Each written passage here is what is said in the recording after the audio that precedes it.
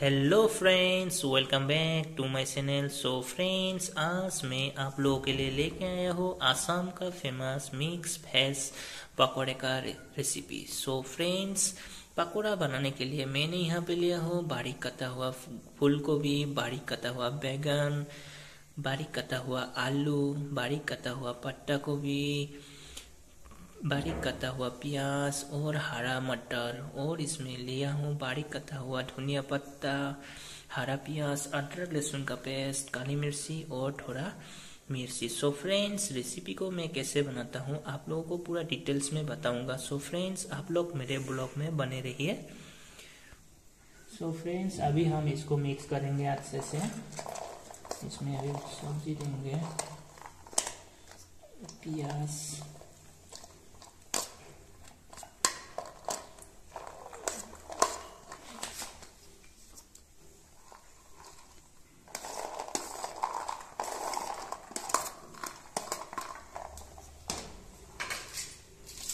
इसमें डालेंगे अभी हरा प्याज,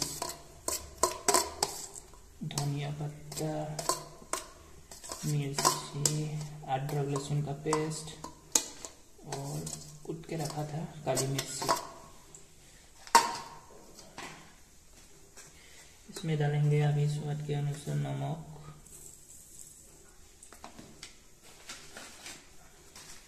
और स्वाद बनाने के लिए इसमें भी डालेंगे हम लोग आजमाइन।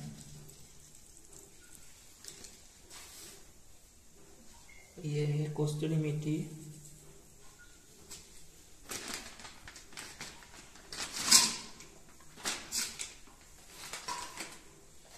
और पकौड़े को कुरकुरे बनाने के लिए हमने चावल का पेस्ट बना के रखा है और अभी इसको हम अभी इसमें डालेंगे।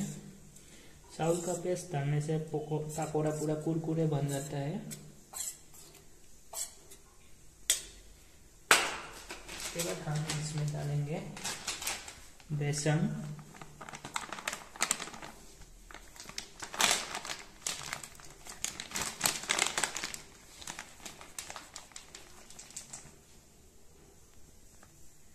अभी हम इसमें डालेंगे हल्दी पाउडर।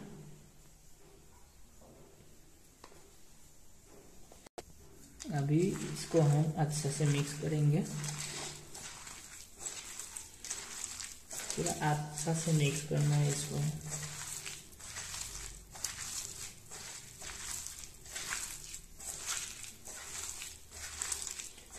पकौड़ा इतना कुरकुरे बनता है ना, खाने में बहुत टेस्टी आता है।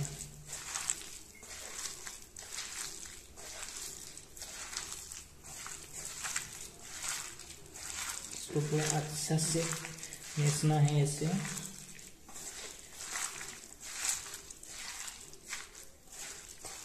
इसको हाथ से ही मिसना पड़ता है ताकि अच्छा से मिक्स हो जाए।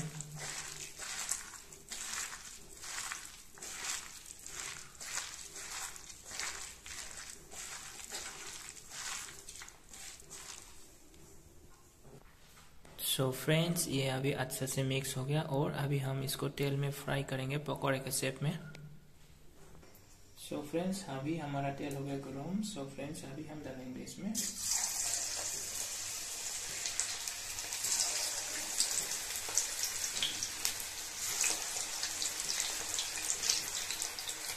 पकौड़ा बनाने के लिए गैस का फ्लेम हमेशा लो में ही रखना चाहिए, ताकि पकौड़ा अच्छा से पके अंदर तक। अगर हाई फ्लेम में करोगे तो पकौड़ा जल्दी जल जाएगा और अंदर वाला नहीं पकेगा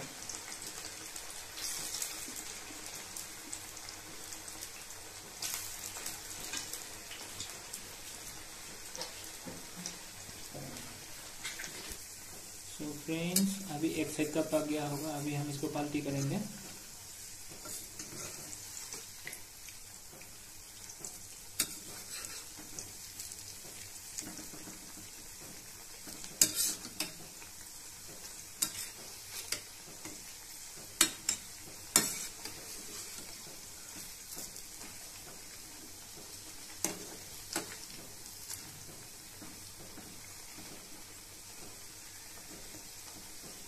फ्रेंड्स ये बहुत कुरकुरे बन जाता है। खाने में बहुत मज़ा आ जाता है। सो so फ्रेंड्स मेरा अभी पकौड़ा बन के हो रहा है तैयार। देखो फ्रेंड्स कलर कैसा आया पकौड़ा का। इतना कुरकुरा बनता है ना, खाने में बहुत टेस्टी होता है।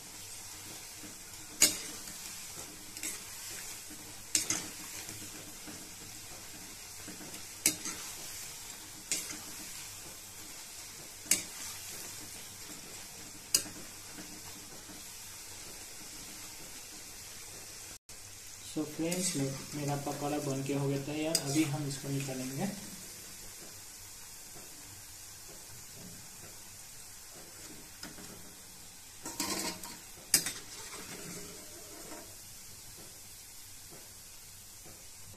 सो so फ्रेंड्स अभी हम इसमें डालेंगे सात मसाला।